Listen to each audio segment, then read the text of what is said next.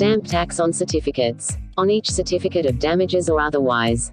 And on every other certificate or document issued by any customs officer, marine surveyor, or other person acting as such, and on each certificate issued by a notary public, and on each certificate of any description required by law or by rules or regulations of a public office, or which is issued for the purpose of giving information, or establishing proof of a fact, and not otherwise specified herein, there shall be collected a documentary stamp tax of 30 pesos.